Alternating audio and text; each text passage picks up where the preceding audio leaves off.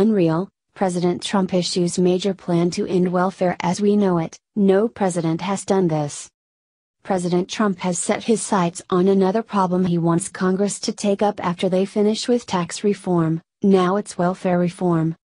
Trump says that welfare is a good program, but that he wants to weed out those who are taking advantage of the system. Liberal Democrats in Congress will squeal like pigs the moment changes are offered up in a bill. In 2013, a study was conducted and when you add up all the government giveaways that a recipient can collect, you would make more on welfare than actually holding a job. Tanner and Hughes, writing for Forbes found the following.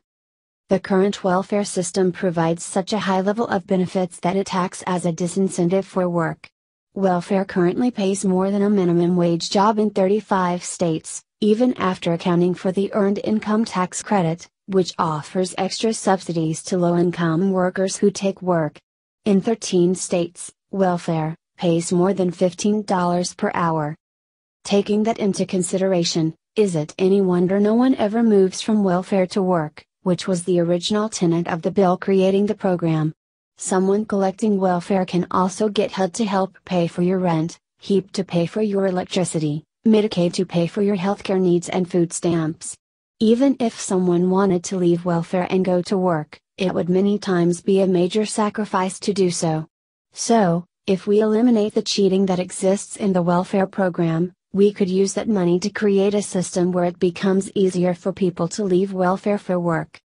A single mother cannot afford a babysitter to watch her kid while she works. If that is a major impediment, which it certainly is, then we may need to provide welfare. In the long run, the amount of money saved could be quite substantial.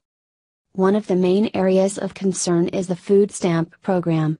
Bill Clinton signed a welfare bill during his presidency that required work in exchange for food stamps for able bodied people. Barack Obama did away with that, but since President Trump was sworn in, he has allowed states to revive their workfare programs. The results have been dramatic, to say the least. 13 previously exempted Alabama counties saw an 85% drop in food stamp participation after work requirements were put in place on January 1, according to the Alabama Department of Human Resources. From Louder with Crowder.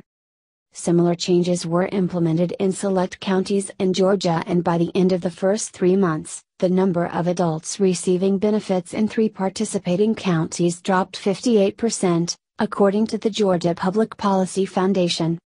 In October 2014, the page announced that able bodied adults would have to find work, spend 20 hours per week in a work program, or perform community service for 6 hours a week.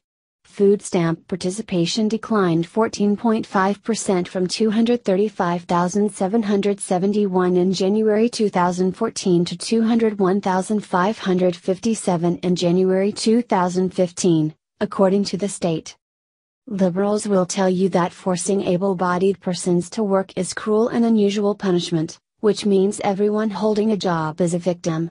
But the truth is, there are reasons why food stamp recipients drop out of the program. Someone working off the books would qualify for food stamps because they have no documented income. Also, there is little enforcement in the food stamp program to weed out fraud, therefore, most cheats can easily get away with it. Work is good for the soul and the self esteem. We don't see a downside to this.